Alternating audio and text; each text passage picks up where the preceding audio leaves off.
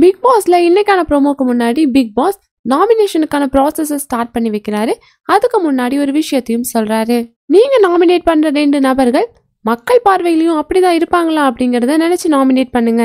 அப்படின்னு சொன்னதும் முதல் ஆளா முத்து உள்ள போறாரு. உள்ள போய் ரெண்டு பேரை நாமினேட் பண்றாரு. ஒன்னு ஜாக்லின் இன்னொன்னு அன்ஷிதா. ஜாக்லின் வந்து ரொம்பவே நடிக்கிறாங்க.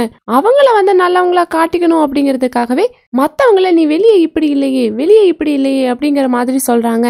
உண்மை சொல்லணும் அப்படின்னா அவங்க தான் வெளியே அப்படி இல்லை. அடுத்ததாக அன்ஷிதா ரொம்பவே கம்ஃபர்டபுளாக இருக்காங்க அப்படின்னு சொல்லி நாமினேட் பண்ணியிருக்காரு. முத்து சொன்னதை பற்றி உங்களோட கருத்துக்களை லைக் பண்ணிட்டு கமெண்ட் பண்ணிடுங்க. பிக் பாஸ் அப்டேட்ஸ்க்கு நம்ம சேனலையும் சப்ஸ்கிரைப் பண்ணிடுங்க.